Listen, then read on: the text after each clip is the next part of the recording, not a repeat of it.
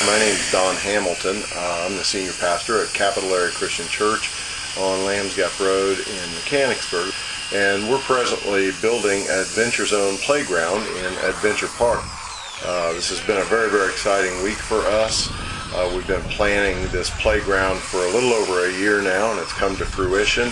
This is Build Week. We are building from uh, now and through Sunday morning, the 18th. We start at 8 o'clock in the morning and go till after dark.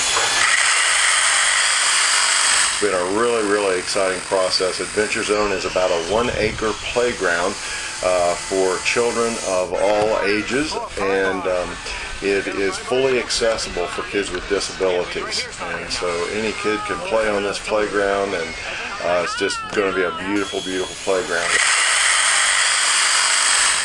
We've had over 1,200 volunteers so far out working on this playground. You don't have to be skilled. Uh, anybody can work on the playground. It's a fully uh, community build. And so we'd love to have you come out and join us. We're going to have to drop it out because we're getting tired. We're also continuing to raise funds for the playground.